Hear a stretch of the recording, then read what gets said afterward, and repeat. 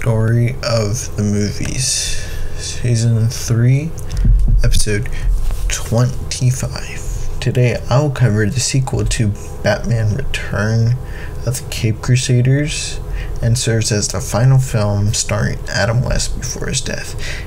This is, this is Batman vs. Two Face.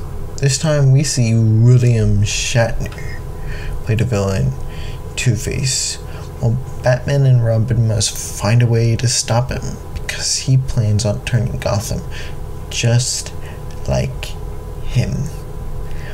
But he tries infecting Batman, but Robin, the boy wonder, saves him in causing Batman to be normal while Robin suffered the pain of Two Face's gas. But Batman saves Robin and Two Face from causing more damage but they cure the rest of the town.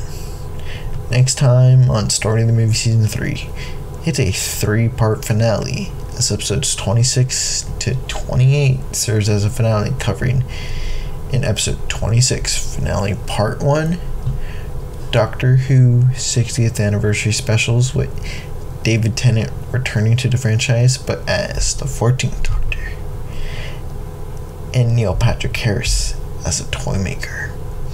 Episode 27 finale part 2 The Lost Boys The Tribe.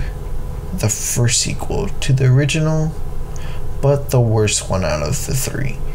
Then comes episode 28 finale part 3 The Lost Boys The Thirst. What happens when the Frog Brothers reunited once again this time? to stop a vampire invasion from taking over the world. Season 3 finale set to come out alongside episodes 23 to 25, with season 4 falling with the first two episodes probably um, a day after would episode one, and then after episode one, the day after that would be episode two.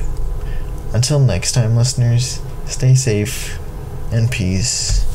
This is Roan signing off.